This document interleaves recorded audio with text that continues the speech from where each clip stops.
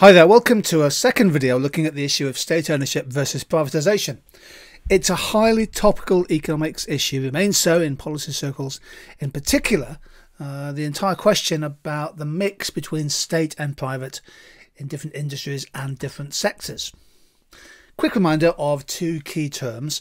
Uh, what do we mean first of all by nationalisation?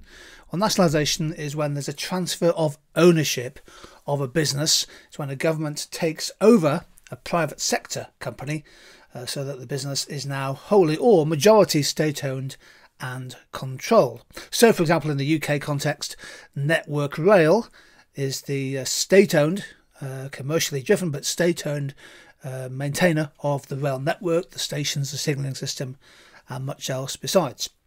So, nationalisation involves a process of moving from private to public sector, whereas privatisation is the sale of state owned companies back to the private sector. In other words, reverse nationalisation, and normally through a stock market listing. So, for example, the Royal Mail was part privatised in 2013 and then fully privatised in 2016. And the Royal Mail is now listed on the stock market. It's a publicly limited company with equity owned by many thousands, hundreds of thousands of shareholders. Now, this debate about privatisation and the reverse, nationalisation, continues to be quite important in, in the UK context and, of course, in many other countries as well. Under Labour uh, in the 2019 election in December 2019, Jeremy Corbyn and his shadow chancellor John McDonnell were proposing renationalisation on quite a big scale. Had they won, they would have renationalised the Royal Mail, uh, the rail operating companies, the train operating services, the energy supply networks, and also the regional uh, water and sewage monopolies. Some people even wanted to go further and bring the commercial banks fully into state ownership. Situation we face at the moment, I'm recording this in February of 2021, is that the train operating companies, the majority remain private franchises, although the government, partly as a result of the pandemic, I believe has suspended uh, the issue of new rail franchises for the time being. However, uh, London North Eastern Railway and Northern Rail are now state run under an operator of last resort. As mentioned, the Royal Mail is now uh, fully privatised, operating in a highly contestable market, particularly when it comes to parcel deliveries. The water and sewage companies, that's a system of regional monopolies uh, owned by the private sector in large part. And the energy supply networks, well, that remains an oligopoly with uh, essentially dominant privately owned firms at both retail and wholesale level. So we have seen quite a degree of privatisation over the last, well, certainly 30, 35 years in the UK. That, that process has tailed off a little in part because the big privatisations tended to happen during the 1980s and 1990s. The Royal Mail and Tote Betting are probably two recent examples of privatisation.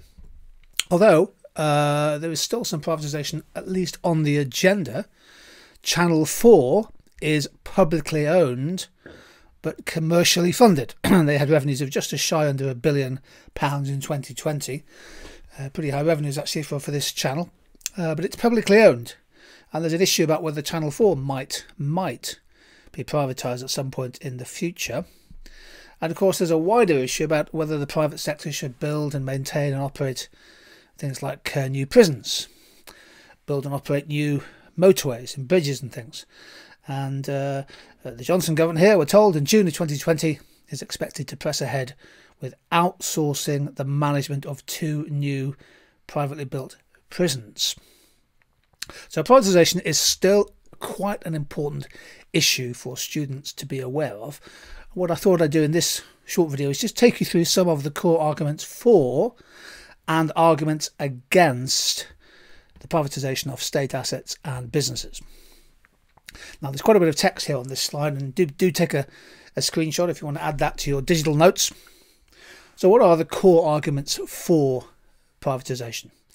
Well, I guess fundamentally, it's a belief, uh, supporters of privatisation believe that market forces, the price mechanism, the signalling and the incentive functions of the price mechanism work, and that scarce resources are best allocated by the private sector.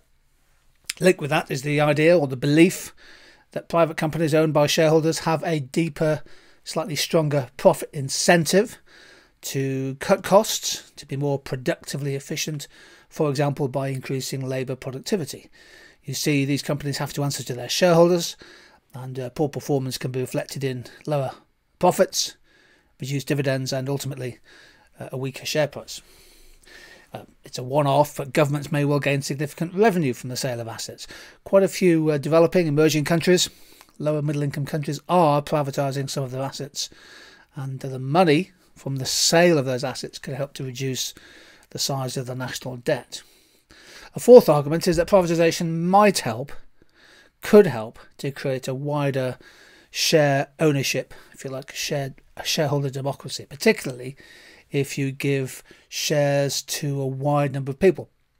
The Royal Mail, for example, uh, dispersed some of their new shares to their employees.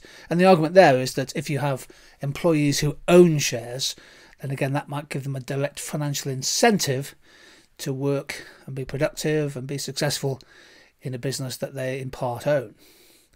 And there's a wider point, which is hard to prove, there must be loads of papers out there discussing it, is that private sector firms are more likely to perhaps to be more dynamically efficient with uh, better records in innovation and also drive investment spending in an industry. And the argument there is that the private sector, who knows, if you're a train operating company, you're going to invest in your rolling stock.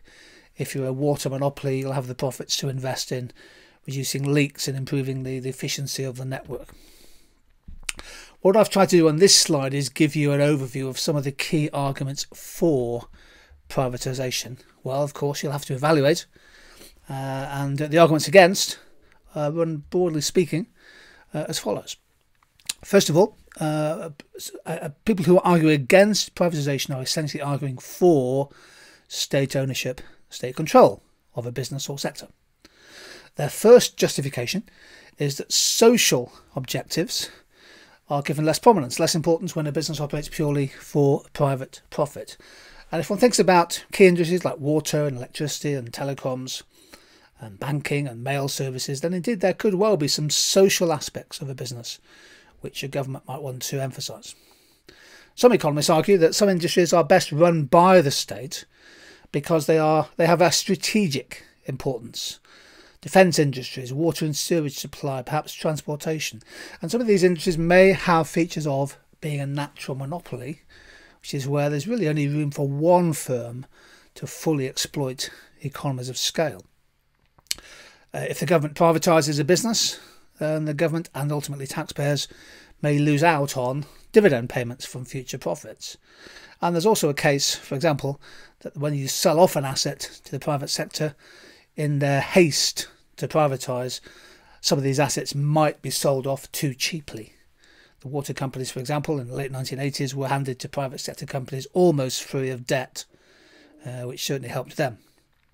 The argument about wider share ownership is also criticised.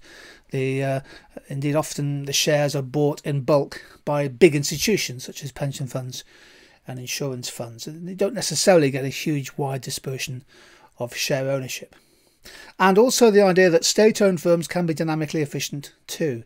Don't assume automatically, please, that the private sector is innovative and efficient and the state sector isn't. Mariana Mazzucato's important work on the entrepreneurial state suggests that many of the innovations that we take for granted these days, including GPS and things, actually came originally from public sector funding, not from the private sector. I suppose the argument against privatisation is that you may well end up by privatising or creating a monopoly. Uh, and a monopoly, of course, as this diagram shows, has the potential to make huge supernormal profits at the monopoly price P1. At least under state control, the price could be lower. You'd have more control over pricing, perhaps to the to the wider benefit of the population. Well, what about some A star evaluation perspectives on the state versus the private sector debate. These are points that I think oftentimes you see from, from really top A star students when they're trying to calibrate the arguments for and against privatisation. The first point I think is, is an exceptional one, and that the, and that is that the ownership of a business, be it state or private, is probably less important than the extent to which a market or an industry is actually genuinely contestable. You see, if it's contestable, then actual competition and the threat of competition can influence the behaviour of a business, regardless of whether it's in the state or the private sector. The second evaluation point is that the quality and the impact of regulation is also important. A tough, strong, well organised, well informed industry regulator can act as a surrogate consumer and help to uh, help to drive efficiency and quality of service for people. Uh, so you can privatise a business, for example, uh, and but that's fine if you have a monopoly, but the, the monopoly can be regulated as well. Another point is to distinguish between network and final mile service. It might well be the case, for example, that you might want to have a the network run by the state, such as Network Rail or the National Grid, and then have competition in the final mile service to the final consumer amongst competing service providers. I am quite clear that I, I don't like my students making lazy assumptions. And often in this debate, students tend to make quite lazy assumptions that the private sector is always almost taken as axiomatic that the private sector is always more efficient and innovative than the state. And yet we know that's not the case. And uh, my instinct is to is to build arguments on a case by case basis and see where you get. And finally, a macroeconomic context is important. Uh, you may well have a domestic monopoly, and it doesn't really matter who owns it.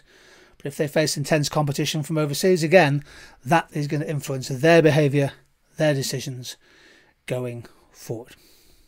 So there we go. There are some of the key arguments for and against the privatisation of key industries. Okay, thank you very much indeed.